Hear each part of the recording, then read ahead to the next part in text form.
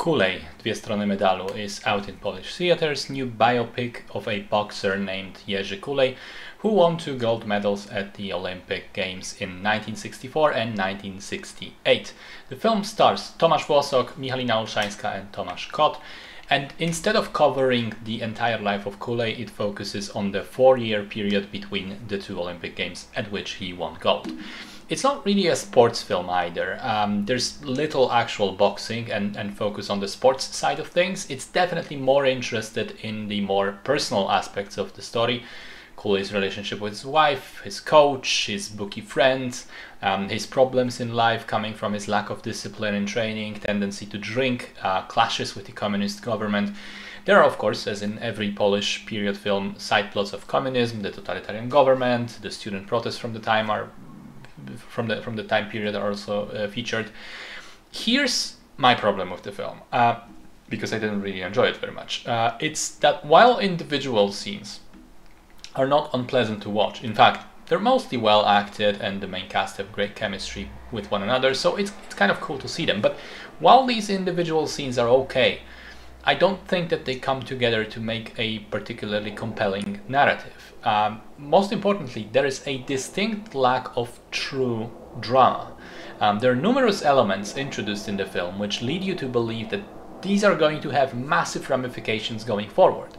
Kulej is a heavy drinker. Surely that will impact his family life or at least his sports performance. No, just keeps winning anyway. He cheats on his wife. Oh, that is that must ruin his family life. No, she at first she doesn't know, then she forgives him. It's not a problem. Oh, the family friend who is a student gets arrested during the protests by the government, for whom both Kulej and his wife work for. Nope, also gets resolved fairly easily. Kulej has a run-in with the police. Surely they are going to absolutely fuck him up right now. I mean, considering this is a totalitarian state, right? No, no consequences. Even in the climax of the film, the movie suggests that this suggests it, it basically puts you on the path to it. That this long gestating sexual tension between Kulej's wife and her boss is finally going to result in her cheating on him for his benefit anyway. But no, and this is the outrageous part. There's a full scene of her slowly dressing up, all sexy, and then leaving the house during Kulej's fight. And her boss is waiting at his house, having a drink. He hears a, a doorbell ringing, and it turns out not to be her, it's a fake out she doesn't go. So, so my question is, why the fuck would she dress up then to just go out for a walk? Uh, because we know it's it's shown it's the same evening. It is exactly at that same moment. She's watching the same television broadcast he was. It drives me insane because it makes absolutely no sense other than to mislead the audience. So a lot of the drama in the film is fake in the sense that it either leads nowhere or the conflict is created for like two minutes and then immediately resolved.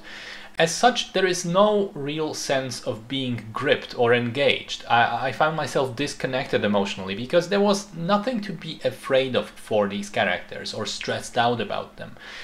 Secondly, I found the dialogue to be often stinted, as it tends to be in a lot of Polish movies. Um, I do think that for the most part the main actors at least elevated and managed to salvage the script, but there are some instances of really egregious delivery from supporting characters. Moments which made me go, who is this guy? Is this a professional actor or did they just grab him from the street? Because the way that line was delivered sucked. And finally, I thought that the tone of the film was all over the place, uh, which is also tied to the sense of the dramatic. Uh, like there are some scenes in the film which, if you think about, are the most dramatic events in the story. And they play out very often to some ridiculous jazzy music, something out of a Looney Tunes cartoon. So it's like the movie itself doesn't take itself seriously. Why should I? Um, anyway, I, I, don't think it's terrible. Uh, as I said, the individual scenes are solid enough to make it a passable experience, but it's not good either. Uh, and I think the main trio of actors are being dragged down by the direction, the music choices, and the lack of truly dramatic writing.